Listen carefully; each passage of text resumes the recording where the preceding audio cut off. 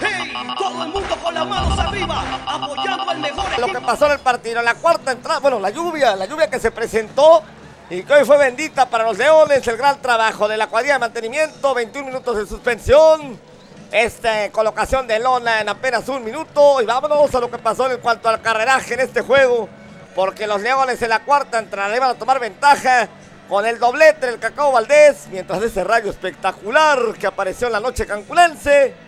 Ya se nos detuvo ahí el resumen.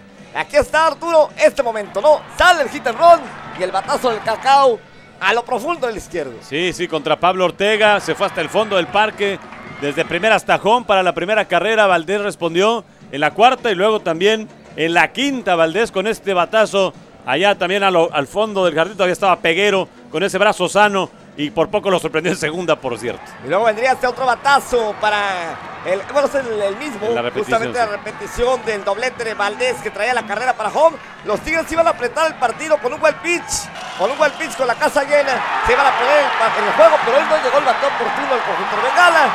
Iban a finiquitar el juego los Leones. Ese es el, el gran momento del juego, Arturo. La atrapada de Aguilar. Pues sí, eh, ya, ya no la, ya no la vimos, pero es importantísima esa atrapada porque hubiera cambiado el rumbo. Y luego la, la ventaja se vuelve de dos carreras otra vez cuando pues viene este cuadrangular que sella la victoria del equipo de Yucatán con Jaime Predosa volándose la barda por el jardín derecho. Y aquí se acaba el, el partido, Pablo. Nos vemos mañana. Mañana, Shamanín, Dios mediante, cinco minutos antes de...